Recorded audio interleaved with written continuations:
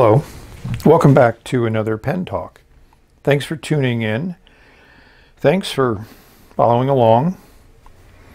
This video I wanted to explore a design element that um, a lot of fountain pens have in common. And my main motivation to doing this were these Moonman 600 series pens. This one here is the M600, which was the first one that came out and also was the most expensive one and had a German Schmidt nib in it. Then here's three examples of the M600S, which basically looks the same. Clip is changed, but they cost around uh, a little bit over tw between 20 and 25 US dollars. And here's the latest one I got in this beautiful uh, cracked ice pattern. The other pen that predated the Moonman was the Kaigelu 316, which is shown here. This is the original one that I bought. But these uh, would be out of context if we didn't compare it to the second generation of the Duofold from Parker. This one came out in the late 1980s. This is the first commemorative one, supposedly commemorating the Big Red. We need to compare that to the original Big Red here which is a later model because you can see it has two bands. And to the far right here in this Jade model, we have one of the earlier editions of the Duofold that has a single band here at the bottom. Both of these have a ball at the end of the clip. So does the original Moonman M600. The uh, re-edition had this more modern version of a Parker clip, which I think is an evolution of the one that came out in the Vacuumatic in, in the early 1940s, late 1930s. The Kaigelu has something, it's kind of a, its own design, but the Moonman followed that arrow pattern for their clip on these models. So the Moonman pens would have made one of my best of 2019 pen lists, but I wanted to do a video just on that. And also this flat top design which is mimicked in a blind cap, which is sometimes a pseudo blind cap at the bottom. The original dual folds had this because they were button fillers, so you needed a cap that was removable to use the button that would have an internal lever system here that depressed a rubber sack. Obviously cartridge converter for the remake of the Duofold and all the Moonman versions are uh, cartridge converter design, but yet they still maintain that blind cap element. They added a metal ring. All of them have a clip that's attached from a finial, which is generally black. All these have a black finial, which is independent of the color of the cap and, and barrel. And the same thing with the blind cap at the bottom, also black. Here, this is a method of attaching a clip to a pen. This unscrews, and then the clip can be easily replaced or repaired as needed. And, and in the Parker models, this cap, this finial, also was part of the inner cap design that sealed up against the section to keep the nib from drying out. So looking at this Duofold design, to go back to the original, Parker wanted to make a larger pen. Then these had pretty good size nibs on them, so that was nice. And they also wanted to make a pen that would last a long time, be easily repaired, but yet not follow any of the traditions of some of the pens that preceded it. No lever filler, streamlined look. And with these straight cap and straight barrel, it kind of minimizes the tooling and minimizes the work needed to be done. This cap design was very good for serving a number of purposes because this design is functional first, aesthetic second from, from my viewpoint as an engineer. And they incorporated some of the basic traditional elements of a, of a cap band, which has been maintained through different versions and variations of the model. So I just think this is a phenomenal design characteristic which has survived almost 100 years. So we're going to delve into some other pens that follow this design and see how they have evolved and used it. Here's some modern interpretations of that classic flat top Duofold design. I've included two more of the modern dual folds. Here's a Centennial, here's an International. I did full reviews on the International. Here we have a Sailor Pro Gear, Pilot 91. And here we have some Delta versions.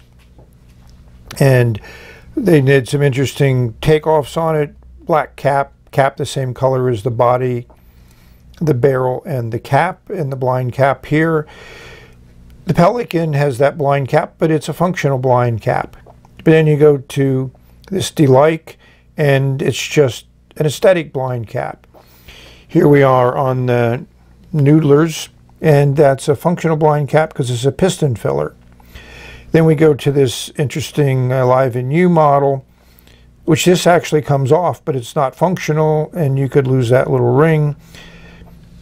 Here's two Pen BBS pens, the 355 and the 309, and both of those have blind caps which are functional. And I chose this one to show that the blind cap and barrel are not the same, but they make some transparent ones. Here's a Pen BBS 352, which is similar to the in You one, is that this blind cap is not functional and it does unscrew. And to me, that's not a good design. I would have uh, glued it on. And then I just wanted to do a little bit of history. Here's a Sheaffer pen, which to me was put out to try to emulate the Duofold with the black ends, but they're just painted on. As you can see that the same material is there. So they're, they're, they're really uh, totally aesthetic. And that just uh, goes to show you that copying and mimicking and all those other things were done throughout the history of pens. It's not something new to some of today's pens. So I have these pens here to show how versatile this design is. In the middle we have the Sailor Pro gear. And next to it is the Pilot 91. And here's a 74. And here's a 1911 Standard. This one was interesting because they made the top finial and the blind cap black, kind of reminiscent of the design attributes of the original dual folds. In most of these pens, the blind caps and the finials are the same color as the barrel and the cap. And in all these cases, these are all design elements. You know, they're same type of clip design with the clip and the ring and this finial holds the clip on. But, but this design has certainly been utilized by millions of pens from thousands of manufacturers, and I'm certain will continue to be used as time goes on. So I'd just like to finish up with these five pens as talking points on pen design. And again, focusing on pens with flat tops, but also the blind cap and finials have some relationship to the design. So I have the Delta one here. So not only did they mimic the Duofold design, they also took the roller clip from the Wahl Eversharp design. It's a nice marriage of, of two different design traits. And that's what a lot of pen manufacturers do. And, and I spent a lot of time in my career in product development for a large uh, commercial entity. And we would sometimes make a million pieces that we sold through a direct sale. So I'm familiar with sitting in a room with design, marketing, sales, and of course product development. And marketing would want something, design would have to come up with some design. Marketing might have brought in a competing product or something they thought up or, or bought that maybe cost $1,000 and they said we need to make this and sell it for $10. And then sales would say, well, I can sell 100,000 of those if you give it to me at $10. So that's you know, an iterative process, and there's certainly a lot of creativity on it, and there's certainly a lot of mimicking and copying because successful designs that sell well tend to result in other versions of them. And the iPhone, I think, is a good example that is set to design for a mobile phone device, and nobody's really been able to come up with a different one that can be anywhere near as popular. The other thing is, is the evolution of how this clip has changed a little bit from, you know, a vintage design to a modern design. And they, the, the Moonman, I think, did a phenomenal job. I think better than Kaigelu, but very similar. So the differences between the two are not significant. The Kaigelu is much heavier, so it has that feel to it because there's more metal bits to it. But I really love the acrylics that both of them are using.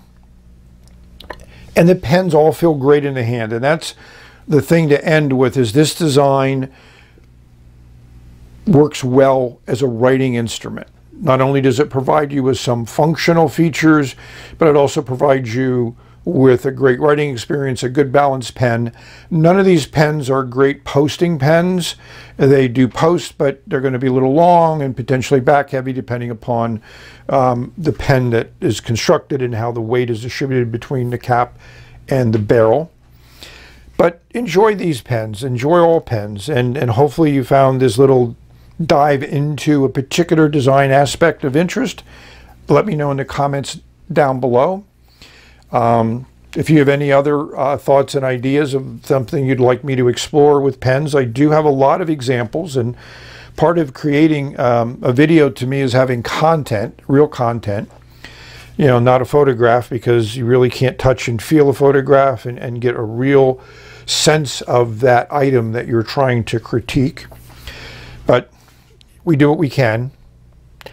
So have a great day, have a great life enjoy your writing experiences and, and, and just hopefully take advantage of this uh, excellent, phenomenal world that we live in that gives us so many choices and what we want to use to put ink on paper. And that's the important part is eventually, hopefully your choice encourages you to put ink on paper. So I've reached the end of this video. We're going to say bye for now until the next video.